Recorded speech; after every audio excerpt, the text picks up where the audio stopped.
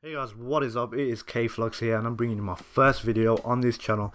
And before I like to go ahead and talk about what I'm going to talk about, I'd just like to say that if you're using an AMD card, you ain't going to be able to do this it's an Nvidia only thing. So if you have an Nvidia 600 or 700 series you'll be able to do this just fine. 500 series or laptop GPUs you ain't going to be able to do it so I'm sorry about that. But let's get started. Um, what the program is is Nvidia Shadow Play. Now Nvidia Shadow Play allows you to record your game by accessing the GPU's cores. Now it doesn't make any sense and the reason why it doesn't is because DxTory and Fraps are companies that record your games but they don't know the graphics cards. They don't know them as well as the actual manufacturers do like nvidia. So nvidia can really unlock all the power of these graphics cards and uh, kind of cache that and get you your gameplay. So i didn't believe it for myself. Go have a look do your research it's actually amazing like I only dropped like one or two FPS and in this gameplay as well I didn't bother to go and get any kills or go into a domination 64 man server because I just felt like this recording software records in 1080p at 60 FPS or 1280 by 720 I'm not too sure about that since I've only been recording at 1080p but regardless of all that it's an amazing program that Nvidia released and I think that it's a step in the right direction because a lot of people who buy the higher end cards they really really suffer in FPS, especially when recording with DxTory and Fraps. Even like me, I had a 1 terabyte hard drive off to the side, 7200 RPM caviar black to the side to put all my recording stuff on. And even though I had this external hard drive that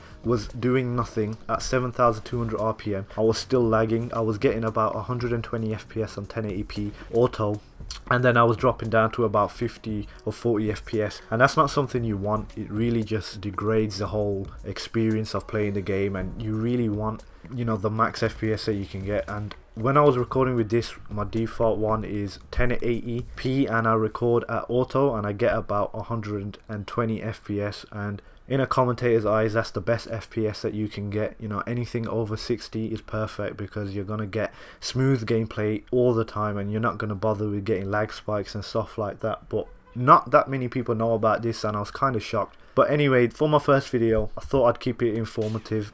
Um, so go ahead download this software knock yourselves out. Um, I'd hope to see more commentators using this software. I know a lot of the big ones use them but it's only a matter of time that the smaller commentators you know who have not the best PCs they can also use this program and really unlock all the power of their computers. But this has been K-Flux and my next video is going to be about my graphics cards, the 650 Ti boost in the SLI configuration because I know a lot of people are interested in them cards, you know, they go for about 120 pounds a piece and I've got two of them, 240 pound and I still get 60 to 70 FPS on Ultra so I'll be reviewing them next. But for now just please subscribe and you'll see more videos of me hopefully daily. Uh, but that's it.